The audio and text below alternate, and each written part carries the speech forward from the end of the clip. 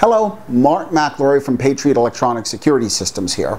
Today we have a really special video for you. It is the first in a series of how-to videos that we are producing. The series will contain information and instructions on how to do various tests that we, as security alarm installers and low voltage technicians, do on a day-to-day -day basis.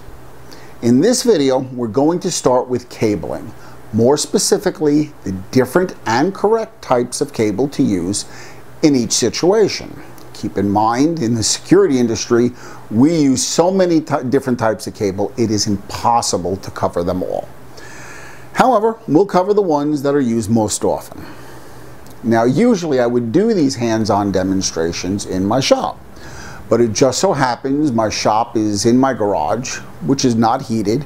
And if you live anywhere in the northeastern part of the United States, you know we are currently experiencing some record cold temperatures here. I don't expect I'm going anywhere near my shop till probably April. Therefore, I'm going to do the demonstrations for the next few videos right here in my office. So let me refocus the camera to a close-up on my side table here and we'll proceed with the demonstration. Okay, I am now going to introduce you to the five most common types of cable that we use in the security alarm industry. The first example here is stranded cable. And more specifically, this example is two conductor stranded cable simply because there are two conductors inside the outer sleeve. Uh, this particular example is also 18 gauge, which means um, when we talk gauge on a, on a cable or a wire, uh, we're talking about the thickness of the conductor. Uh, the lower the number, the thicker the wire. That's important to know. It has an inverse relationship. So a 18 gauge wire is actually, the conductor is actually thicker than a 22 gauge wire, uh, even though with the 22 gauge wire the number is higher. We use the, uh, this particular two conductor uh, cable for um, usually power connections in our industry. Its sister cable is four conductor stranded cable. Uh, this particular example is 22 gauge, which is uh, thinner wire than our previous example a second ago. And we use this for all kinds of applications in the security industry. Uh, we connect uh, smoke detectors to the alarm panel. We connect um, keypads to the alarm panel. Uh, in that particular instance, uh, data runs over uh, two wires and power runs over the other two wires. The next example would be coax cable. And um, we use this, uh, this is RG6. Coax cable comes in, in two flavors, RG6 and RG59. This is an example of RG59. Actually, this is an example of uh, Siamese cable uh, using RG59. The RG6 can carry uh, more data faster. It's a thicker cable. And it's used for, um, for uh, home theater applications with, uh, with digital uh, cable and digital satellite TV. These days it requires a thicker cable uh, that can transfer data at a, at a faster rate than the old RG59. We're going to take a closer look at uh, coax cable in, in, a few minutes. Uh, I just want to just want to go through the basics here. And again, like I said, there's the RG59 Siamese cable. Now this is interesting. This is basically two cables in one. Uh, one is coax, and the other one, let me see if I could take the sleeve off here. Yeah. The other connected cable is two conductor, uh, is two conductor stranded.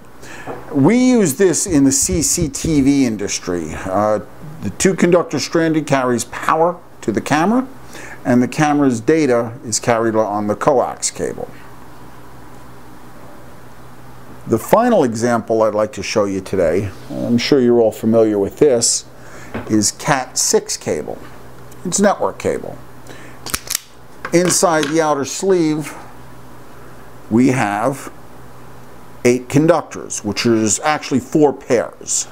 Now, the difference between the, the conductors on a Cat5, Cat5e, or Cat6 cable um, than the stranded pairs I showed you earlier is that these pairs are twisted. Uh, they're twisted to prevent crosstalk between the conductors. Uh, the more twists per inch, the better uh, the pair is insulated against uh, crosstalk. And that is the big difference between Cat 5 and Cat 5e and Cat 6 is the twisting, the number of twists per inch that the cable has. Uh, Cat 6 is also a, a thicker gauge than Cat 5e. Cat 5e, I believe, is 24 gauge, and Cat 6 is 23 gauge wire. And on some, but not all, Cat 6 cable, you will find this spline. And uh, it's a separator. It acts as a separator. It, it separates the four twisted pairs inside the outer sleeve. Um, like I said, not all Cat 6s have it. I don't believe it is part of the Cat 6. Um, um, it's part of the Cat 6 requirements uh, as far as a rating goes. Um, I happen to like it. A lot of people, a lot of installers find it a bit of a pain. Uh, they have to cut it away uh, once they, you know, uh, once they install, once they try to terminate the cable. Uh, but for me, I, I, don't mind cutting it away. I, anything that will prevent, uh, that helps prevent interference, uh, is all right with me. As promised, I want to take a closer look at the coaxial cable. I want to kind of show you how this cable is built, and I'm going to superimpose a still photograph of it in the upper part of the screen because it's difficult to get a, a good focus on, on the cable from uh, using video mode.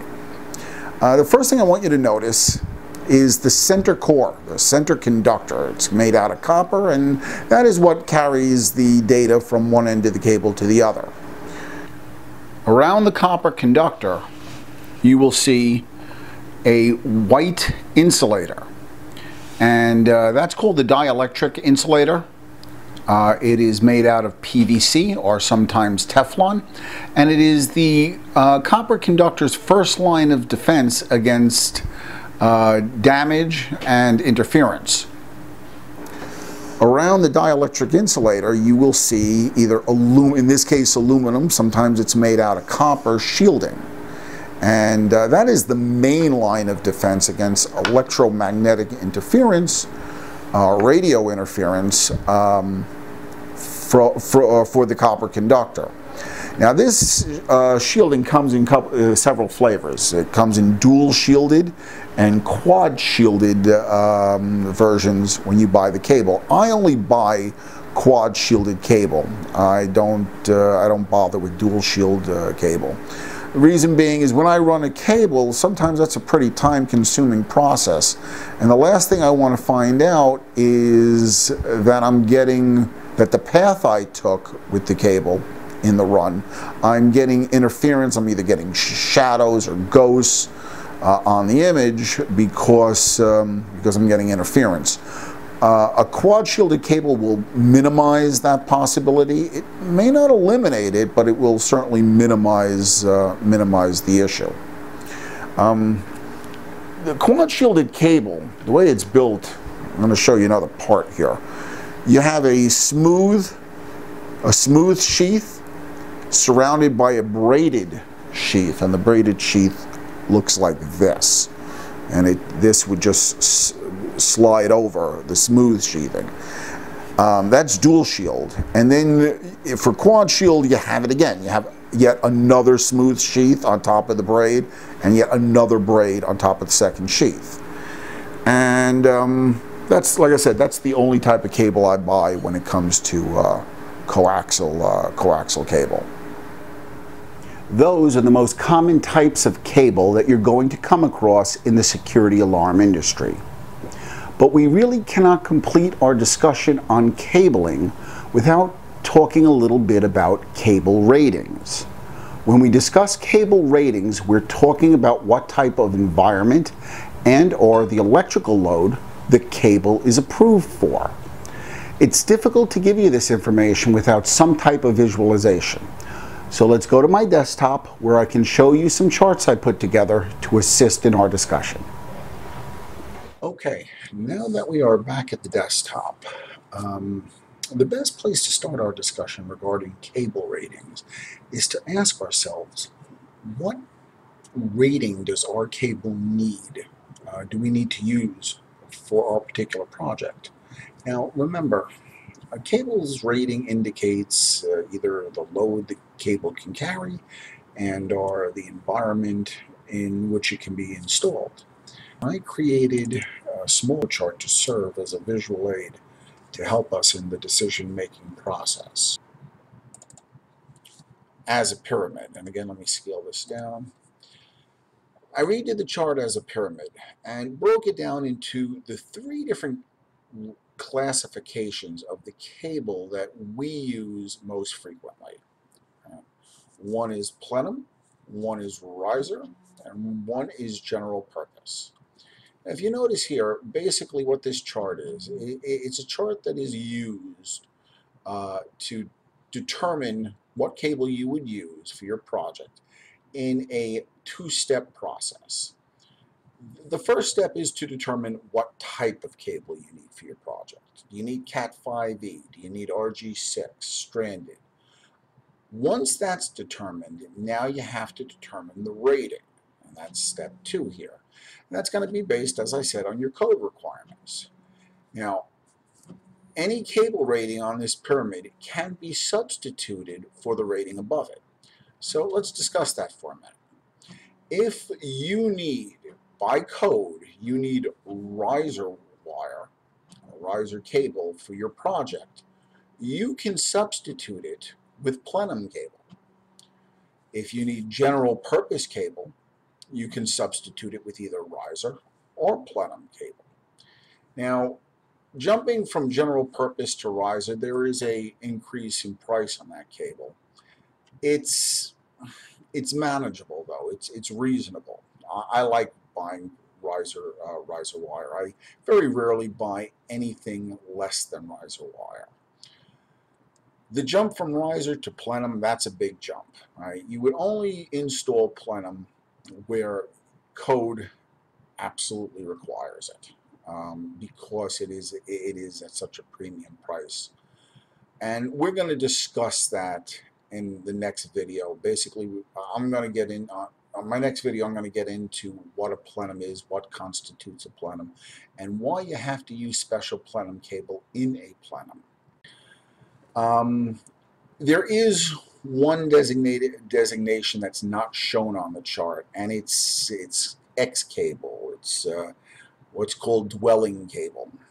Um, usually there's an X after its classification. For example, if you have class 2 cable, CL2, the dwelling rating would be CL2X, right?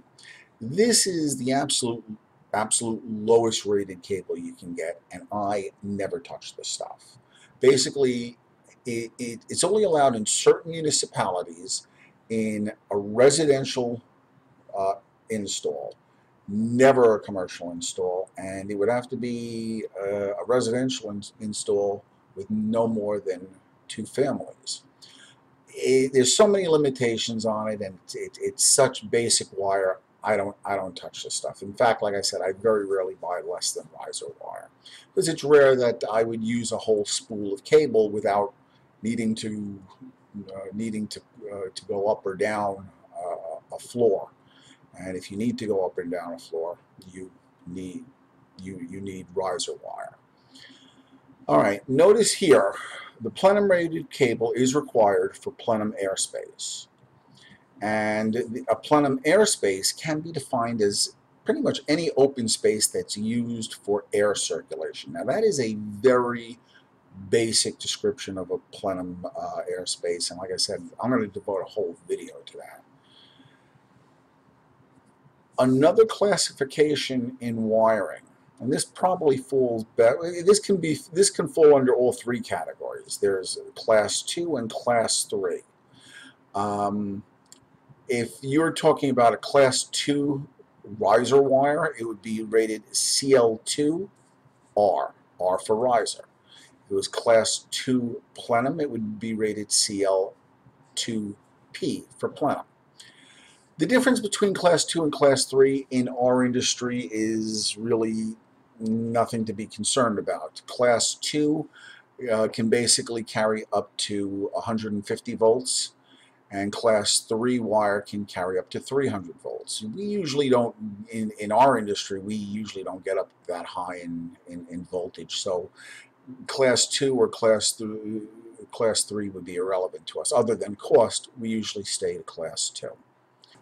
More important than the voltage limitations on class 2 and class 3 wire is the fact that CL2 and CL3 are in-wall rated approved. Meaning, um, if you run a, a, a wire or a cable through an enclosed wall, it needs to have the CL2 or CL3 rating. Uh, if it does not, uh, that cable cannot be used for in-wall in-wall runs. Um, that also goes uh, uh for cable that we buy pre-made, such as, uh, for example, HDMI cable. Uh, when we do installations of TVs and monitors that are mounted on a wall. Many times there's an HDMI cable that is running down to a cable box or a digital satellite box uh, down lower to an audio video cabinet. And a lot of times the customer wants that, uh, that HDMI cable hidden uh, inside the wall. If, uh, if that's the case, that HDMI cable must be rated at CL2 or CL3. It's hard to find CL3 ratings on HDMI cables, but you could find uh, CL2s uh, pretty much, uh, pretty, they're pretty much readily available. Um, but uh, keep that in mind, all cables, be it, uh, be it pre-made cables or wire runs, if they're going to be in an enclosed wall, they need to be CL2 or CL3 uh, rated. One, uh, like I said, one uh, definition that I don't have listed on this chart is riser. Now you would use, you already said you use plenum when you're in a plenum airspace. Riser would be used if you need to run the wire from one floor up or down to the next floor. Uh, whenever you do that, you need a riser rated cable. Well, that about wraps up our introduction to cables commonly used in the security alarm industry. If you would like me to email you any of the charts we used in this presentation, please feel free to go to our website and send me a request via email on the Contact Us page. At this time, I would like to take the opportunity to thank you for watching this video. And for more information on who we are and what we do, please feel free to go to our website, www.patriotsecuritysystems.com. Stay safe.